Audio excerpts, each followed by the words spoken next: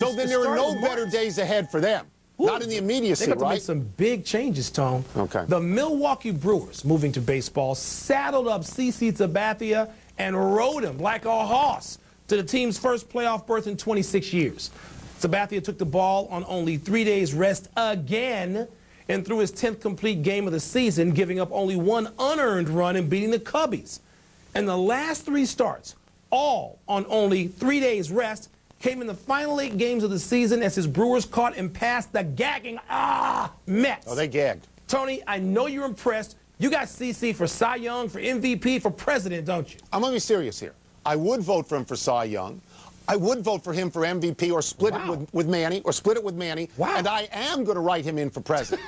okay? Because he is a man and he is a beast. He did this at great personal jeopardy. He's a free agent. Yeah. Okay, what if he hurts his arm? Look at Ben Sheets, who can't go. What if Sabathia hurts his arm? He didn't go once on three days rest. He went three times on three days rest. You know, th this is, you put your career at jeopardy, and the courage and commitment of that is to I agree and give a standing ode to yes. Mr. Sabathia on yes. everything you just said. Yes. And you know what he's done? He was so great. He was a 9.999 when it comes to all the things you mentioned. A guy who was at 9.89, just under him, was Johan Santana who has a gagging, choking team that did this the second straight year as they sit there and tell you last year had nothing to do with this year. You know what because Santana me? went out there and toned three times in nine days this and shut people yeah, down. This surprises me that your New York bias is showing and not oh. your Midwest bias. Santana no, went on three I days hate the once. Mets, okay? Santana went on three days once. Tony, this guy went three times. in nine days. This the, guy was the only thing the times. Mets had. The people in Milwaukee should give him $100 million and don't let him leave town. Over in You're college his football, agent now. My goodness. Be. In college football, Oklahoma is your new number one team in the land. The Sooners beat a ranked team in TCU, but the most impressive looking team of the weekend was undoubtedly Alabama. The Tide rolled to 31-0 halftime lead over Georgia before coasting home. Well, about Oklahoma is number one, but is Bama better? Tony, before we started the show, I wrote down the teams I thought were my top five in order today. Doesn't mean this is going to hold in three weeks, but just today. I would vote Oklahoma 1, Alabama 2, and I wouldn't argue if you flip-flopped them. I'd vote Missouri 3, which not a lot of people have. I would vote Brigham Young 4th, and I would vote LSU 5, knowing that Texas could crash that party by beating yeah. Oklahoma in a couple weeks. But those are my top See, teams. the problem is with, with most of the teams you mentioned, not with Brigham Young, with most of the teams you mentioned, they're in very tough conferences and conferences that I believe have championship games after you get through the regular season. Plus, you got to go on the road and play some tough teams, too. So whatever may be invalid in three weeks. But we give credit to Saban for the very, very young team firing up right away and beating ranked teams right away and beating Georgia on the road and killing Georgia, Georgia, on the road. Stepped on Georgia like an ant. But they're in a rare air situation here that they haven't been in in a long time. Oklahoma's in that rare air every year, so I'm inclined to lean towards Oklahoma. But three weeks from now, they could yeah. both lose. Oklahoma's got some tough road they games, too. They both got difficult conferences. Let's take a break. When we come back, the Packers have problems. Denver is disappointed, and a big win for the Bears. Jaws is on his way. He'll bail us out. Pardon the interruption. Presented by Guinness Draft. Please drink responsibly.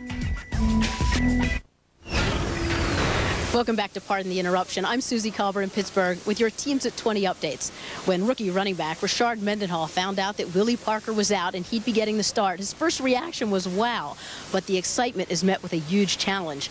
The Ravens' number one ranked defense hasn't allowed a 100-yard rusher in 21 straight games. He's also heard there's a lot of trash talk. He said, the guys told me some two, ungodly one, things will be two, said on the field tonight, two, but I've been playing one, the game a long time.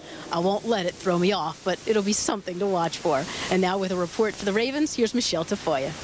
Well, Suzy Ravens rookie quarterback Joe Flacco continues to earn the confidence of his coaches. John Harbaugh told us last night that if the Steelers decide to shut down the Ravens' run and don't think Flacco can help win it for Baltimore, they might be surprised. Harbaugh said, I'm sure they're going to come after Flacco, but if he can get rid of the ball quickly, they're going to have trouble, and I believe my young quarterback can do it. Your Teams at 20 updates will continue all the way up until kickoff at 8.30 Eastern on ESPN. Now back to Pardon the Interruption with Mike and Tony.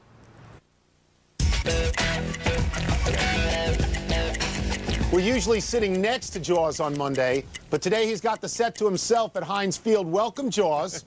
Uh, it's beautiful here. Come on down. I'll be out there in a little bit. Okay, the Packers lost again, and Aaron Rodgers got hurt. It's insanity to have two rookie backups, right? Uh, absolutely. You know, Aaron Rodgers coming into this season, getting his first start in the National Football League, that's tough enough. To be backed up by two rookie quarterbacks, if something happens to Aaron Rodgers, as you can see yesterday, you pay a steep price by having inexperienced backups as well. Jaws, Tennessee is not entirely new to being good. They've been in the playoffs. They're 4 0. Buffalo, it would seem, is a total shock to a lot of people at 4 0. Who do you think is the better team? Oh, I believe Tennessee clearly right now is the better football team. We've got a long way to go, but if you look at the Tennessee Titans under Jeff Fisher, you know the template. Tough, physical, hard-hitting defense. Run the football, smash mouth style. But I think what separates Tennessee right now, the veteran leadership of Kerry Collins. He knows where to go with the football, and he protects the football. He gives Tennessee the edge over Buffalo to me.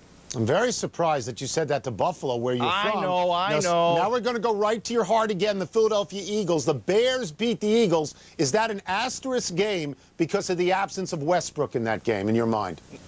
No, absolutely not. I mean, the Philadelphia Eagles have the biggest, most massive offensive line in the National Football League. They average 330 pounds up front. They've got two and a half yards to score a touchdown to win the football game. From that position on the field, Steve Van Buren should be able to get in the end zone. the Eagles got to punch it in right there. Okay. Jaws, the Chiefs finally won a game yesterday. They beat Denver. What's up with Denver? What are we supposed to believe about that team? You have to have defense week in and week out to hang in football games. That has to be the constant. When you look at Denver, that's their problem. You know, they've got an outstanding quarterback. They've got an explosive offense, but good defenses can slow down an offense. That's when your defense has to keep you in the game. And yesterday, the Denver Broncos fought an upstream battle all day and never got upstream. Uh, well, the Chiefs were paced to a degree by Larry Johnson. Do you believe in the rebirth of Larry Johnson? Well, not after one game. I think uh, when you look at Larry Johnson, you have to see the consistency. It's still a young offensive line in Kansas City that is growing together. But I think the big problem in Kansas City right now is they need to find a quarterback. It seems to have been the problem since I was there in 1989. They have a quarterback problem, a consistent quarterback week in and week out. You got to find a young guy. Jaws, we've gone long enough without talking about the Cowboys. Got to steer this conversation back to them. Look, T.O. has torn teams apart in the past. We've seen him do this stuff in San Francisco. We saw him do it in Philly. And what I'm wondering is, does Wade Phillips have control of the Cowboys? That's really a difficult question. I am really not sure after watching that game yesterday because, you know, I believe T.O. is a blessing as well as a curse because of the great talent that he has. But he's a player that demands the football. He demands being part of the action. However, when you look at the Dallas Cowboys offensively, they have a lot of stars on that offensive team. Jason Garrett lost his balance yesterday. I mean, Felix Jones doesn't touch the football with his explosive play. Uh, Marion Barber, you know, eight touches. They run the ball 11 times. Come on, they've got a lot of weapons. You can't just focus on Terrell Owens. You got to have balance. I think Jason Garrett learned a lot yesterday. Uh, Browns quarterback Derek Anderson beat the Bengals. Now, the Bengals, and said, quote, we've got our swagger back. You buying that? you buying that? No, I, am sorry for the chuckle. Come on. They beat the Cincinnati Bengals with Ryan Fitzpatrick, not Carson Palmer at quarterback. I, I would like to say they probably have their limp back right now. Jaws, we saw another direct snap touchdown yesterday. This one from the Jaguars. Is that the play of the season? How, what is up with that? Uh, you know, I love those kinds of plays. I'm a big gimmick and gadget guy. You know, you got to run plays like that three or four times in a football game. It makes the defense stay at home and respect everything you're going to do. I, I, don't think it's a fad. I think you're going to see more teams going to more of those style of plays, the gadgets. All right, we got the Ravens and the Steelers tonight. Now, we know you're not allowed to pick. So, Wilbon, look at Jaws. Is there any clue? Is there anything in the way he's dressed? Is there anything about him that indicates to you who he's going for? He's wearing no gold. He's wearing no purple. I don't. I. I. I I'm not picking up any hints. You don't have to ask me for a hint. I, I think Pittsburgh is going to win at I, home. I love to be at home. How about the yellow seats behind him that's associated with the Steelers, Wilbon? How that about he's means, going you know what, the Steelers? They don't have any purple seats he can have behind him no. in Pittsburgh, Tony. Thank you, Jaws. Thank you, Jaws.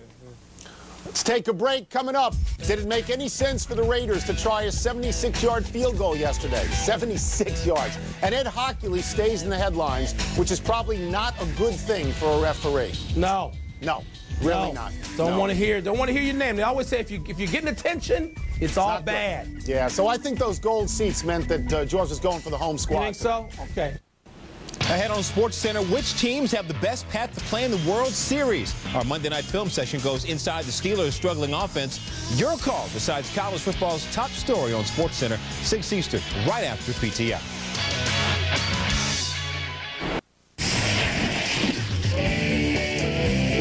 Claims I hate the emailers. You do. But if that were true, would I have lugged this stupid tin can all the way to Pittsburgh? You're I trying to not. harm it. Somebody get, the, first one. mailbox away from you. He's trying to hurt it. Shut up. Tim Tebow personally apologized to all Florida fans for losing to Ole Miss and thus falling short of an undefeated season. He says no one will play harder than he will for the rest of the season. Isn't he being a little hard on himself? I don't know about hardness. It sounds like uh, T.O. a little bit, a little wrapped up in his own situation. Hey, this is not basketball, Tone. He can't control the game all by himself. They got LSU at Georgia, at Vandy, FSU. They got tough games, and he's not going to be able to control every snap Can I ask you games. a question? Did you watch that play? You Yeah. know how they always go out of the shotgun? Yeah. He's 6'3", and he's a tank, isn't he? Y- Why yes. don't you go right under center and fall forward for the one yard that you need? I mean, I know they always operate the other way, Yeah. but but, but he, he's, he's giving the other people a four-yard But head that, start. you know, the coach is making that call. Tone, well, yeah, he's a I'm, tough- I'm laying it on Urban Meyer on So this he's one. a great player, as you know, but he, He is. cannot Nailed control the SEC by himself. He ain't that good. The Raiders attempted a 76-yard field goal at the end of the first half yesterday. In case you're wondering, that means the line of scrimmage was their own 41-yard line. No surprise it was short. What is the better headline for this play, Dare to Dream or How Idiotic? I was forced to watch this game. I was in Northern California at my friend Vince Williams' house. He didn't have a dish. Vince, get a dish. So I'm forced to watch this play. There was no time left in the half. He only kicked it about 56 yards, Tone. Yeah, you because there's no time in the hurt. half, it wasn't that bad a play. The only way you can get hurt is if the guy returns it, okay? Right. So it's not that bad a play, but it also it's also Lane Kiffin being vaguely antagonistic to Al Davis and putting on a You sign think that says "Fire me." Well, come on, you're not going to make a 76 they yard played pretty field well. goal. Tone, not You're only not that, gonna it was against the wind. It So was at least a club win. You shouldn't have been trying it. You're not going to make it. Referee Ed Guns Hochuli blew another call yesterday, and it cost the Panthers a touchdown. You guys rushed to his defense after the last blown call. Are you going to do it again? See, we didn't rush to his defense over the call. We rushed to his defense as a person, as an official. In this case, they called this this, this touchdown pass back on a roughing the passer play, helmet Right. to helmet. Tony's Right. wrong. The defender had his head up. His face guard hits the guy in the helmet. That's why they're wearing the helmets, Tone. I'm going to tell you something. This has nothing to do with this call. This call is nothing like the San Diego Denver call. Okay. But this has nothing to do with the call. This has to do with Ed Hochuli. Everything that Ed Hochuli does this year, anything that's on the borderline, everybody's going to jump up and down and scream. He has become the Bartman of oh, NFL referees. Oh, that bad. It- it- he's going to be haunted by this, Mike. This is going to be a terrible year for him. Terrible year. He, Enough he ain't got email. to change his name, though. He don't have to wear a costume or anything. Let's take a break. But coming up, a golf fan takes one in the bean, and Wilbon will try to jam Northwestern into the show. Yeah, He's going to have to wear a disguise. He Tone, is. I will take Hochuli and sit with him in Wrigley. How about that? I like Hochuli too, but everybody's scrutinizing Yeah, every single thing true. now. And you know it's what? going to be unfair. He's out there and he's putting his work out. Pardon the interruption. Presented by Guinness Draft. Please drink responsibly. Let's get happy. Happy 67th birthday, Charlie Taylor. Taylor is the Hall of Fame wide receiver for the Washington Redskins, who caught passes from, among others, Hall of Fame quarterback Sonny Jurgensen. Tell us a Taylor story, Mike. On this fine family program, Tone, I don't know if I can, but I know you kiddies out there have no idea how great a player Charlie Taylor was for a long time. Happy anniversary, Willie Mays. On this day, 54 years ago, you made the greatest catch in history playing in the World Series for the New York Giants. Vic Wertz of the Indians hit a ball in the Polo Grounds that caused you to turn fully around and catch over your shoulder in a clip that is every bit as good now as it was that day. I know you love that catch. Tone, how about this? The World Series are being played then, the playoffs now haven't even started. What's up with that? That's the way it used to be in the good old days. Happy trails to David Whitfield. The 48-year-old golf fan was taken off in a stretcher from the Tour Championship after being hit in the head by an Anthony Kim drive. Whitfield was okay, but Kim said, quote, I thought I killed him. It was an awful feeling to see a golf ball-sized impression in his forehead. It was probably the nastiest thing I've ever seen, unquote. First of all, this guy is said to be okay. All right, never lost consciousness. My question would be, did the ball bounce into the fairway and give Mr. Kim a good lie? Here's That's what all Kim should do. care about. Take off one of those giant bejeweled belt buckles and give, Give it, to the guy. Just lay Give it, on the him. guy as he's being wheeled off. Exactly. Time to find out what we messed up, reality. Did you see that ball hit? It goes about 20 feet in the air after it hits him in the head. I quote Michael Ray Wilbon from the college football discussion. I have Missouri number three, which not a lot of people have. Not a lot of people except for the coaches because they're number three in the coaches poll. Hate to Explain agree yourself, with them. All right, we're running out of time. We go straight to the big finish. Let's do it. Late Jay Glazer reports that the Giants have fined Plaxico Burress 40 to 50 times during his five-year run. That seems like a lot, doesn't it? Yeah, that's why Coughlin suspended him two weeks, and it's justified. Steve Smith gave a touchdown ball to Ken Lucas, the guy he punched in training camp. Your thoughts, Tone? My thoughts are that he's trying to make amends, and Lucas has accepted this, and they are friends now. Josh Beckett hurt his side during a bullpen session, won't start until game three. Is that a big deal? Well, it is when your ace or your supposed ace can only go one game in a short series instead of two. Northwestern, baby, 5 0. All hail the mighty Wildcats. Yes, and Binghamton also undefeated and unscored upon. Last one, Bruce Springsteen will perform at halftime of the Super Bowl. You're excited, aren't you? Well, I'm not, but I'm excited for all the Springsteen fans. I know he's a great talent. I'm excited they'll, they'll see their Liz guy. Clark is excited. Liz We're out Clark, of time. yes, we'll try and she do better the next time. I'm Tony Kornheiser. I'm Mike Wilbon. Same time tomorrow, Knuckleheads. Check out the PTI podcast on iTunes. Let's go back to Bristol. Good night, Canada.